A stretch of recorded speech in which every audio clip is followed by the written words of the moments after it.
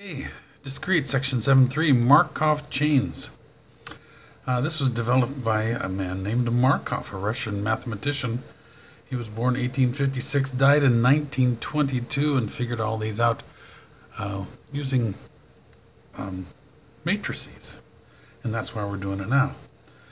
Suppose the cafeteria wanted to predict how many students will be eating.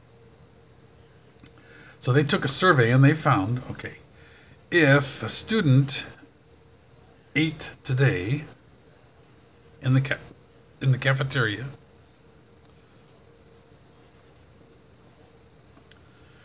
Then the next day there was a 70% chance that they would eat in the cafeteria. If uh, they did not eat in the cafeteria that's cafeteria, then there is a 40% they would not eat in the cafeteria. Oh, Next day, 40%. Oh, they would eat.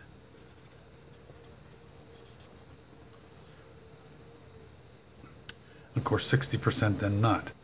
So if they ate 70% chance they would eat next day. If they did not eat, then there's a 40% chance they'd eat the next day. Well, this is easier to see with a, a uh, tree. So let's assume we need an initial state.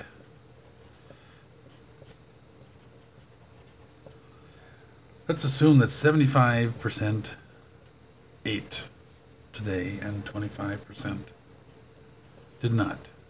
So we got 8 with an A and not. Okay.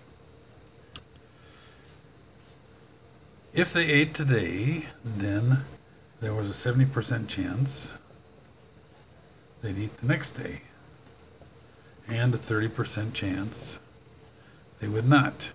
If they didn't eat, there was a 40% chance they'd eat the next day, and a 60% chance they would not. And you could keep on doing this because, say, this is Monday, I guess. This would be Tuesday, right? What would happen on Tuesday?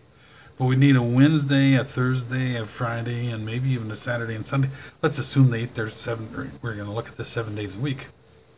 So how many, right now with just two days, we've got four leaves. How many would there be if there are seven days? How many leaves? Well, this is 2 to the first, 2 to the second. This would be 2 to the seventh leaves.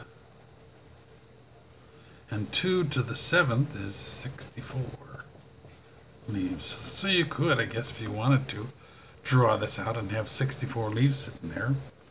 Or you could figure this out. But let's, if we just figure out Tuesday.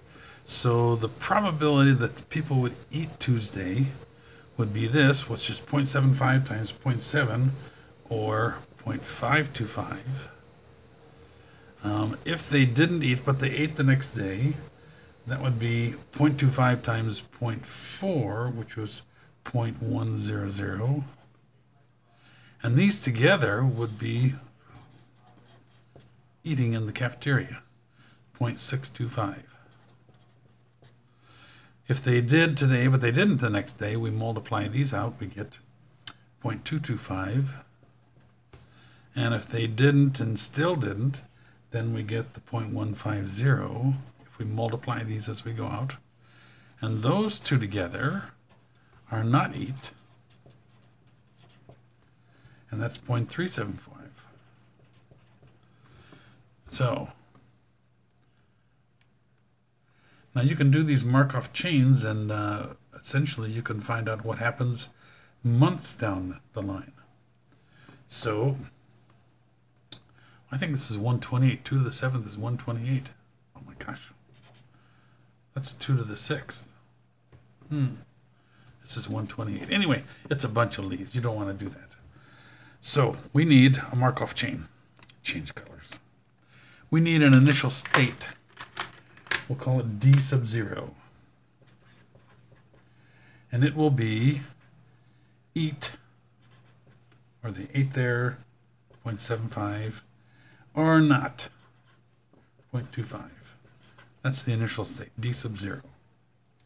Uh, the transition matrix to the next state, we would use something similar to the input-output stuff. Um, eat not or 8 not 8 not. Let's see, this was 0.7 and not was 0.3. This is 0.4 and 0.6. Now the rows have got to add up to 1 instead of the columns. That's the transition matrix. So if we take d sub 0 times t, we would get d sub 1, which is Tuesday. Right? Let's see if we can do this. Um, so d sub 0 times t for the first row, first column, we're going to take point. Well, you know what? We can use our calculators with this. So let's put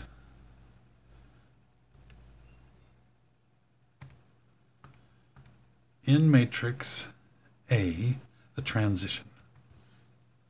It's going to be a 2 by 2, 0 0.7, 0.3, remember you go across, 0.4, 0.6. Okay, that's the transition matrix, that's T. So A is T, really. And we're going to use B, I guess, for the D sub 0. So get out, get back in, second matrix. B, we're going to edit. B is going to be a 1 by 2, one row, two columns. And this is 0.75. 75% of the students ate there today. 0.25 did not. And we can get out of this. And then we can take the d sub 0, which is a 2 by 1, sorry, 1 by 2, and multiply by a 2 by 2. So we've got conformable, so we want b times a. Second matrix, b times second matrix 1a. And we get 6.2 by 3.75. That's what we got here, 6.25, 0.375. Now, if we took that answer, that's Tuesday, and multiplied by this t again, if, if we assume that this is the how things happen over and over, then we can take that and uh, get the next day, Wednesday. So if we just say times, it'll take the answer, and we want times A, second matrix, A. And then we'll get Wednesday, which is 0.58 d sub 2 is 0.5875 and 0.4125. And we can take that answer and keep on going. But you notice what we're doing here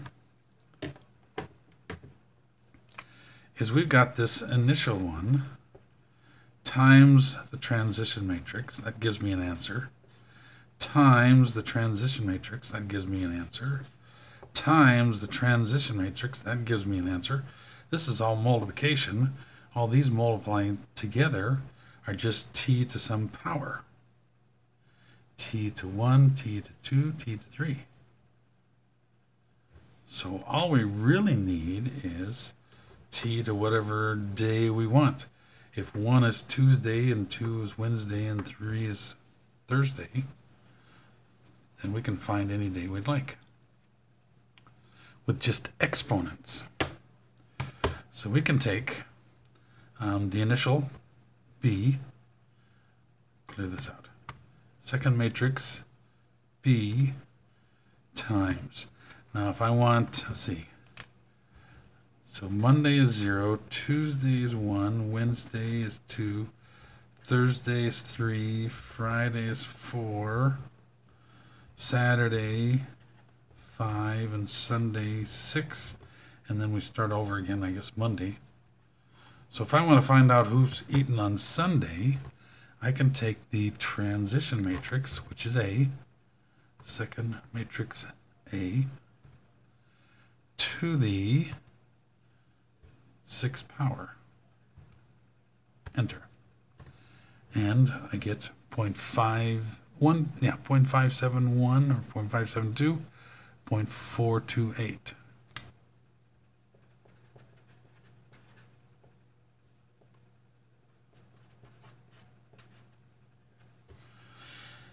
And that's the number who would be eating and not eating. That's called a Markov chain. And so you could figure that out really easy if this transition matrix didn't change. Suppose you wanted to figure this out uh, at the end of the semester. Say there's 380 days that they're eating, or 360 days, or whatever. Oops. We're going to go up here and change this to 360. Now it may take, whoops, domain, the value entered was not allowed. Oh, I guess we can't put in that height. Hmm. Second quit. So it didn't like it that big. Wonder how big we, we can go. Maybe I'll have to figure that out. Let's do it a little smaller just so it, see if we can do this 100 days. Let's just try 60. Oh, it does 60. It may be 100, maybe 99. 0.571, notice this sort of settles down. 428, 571. So this may be going to 0.571 and 0.429. But it might settle down, and that might be what they can expect over time.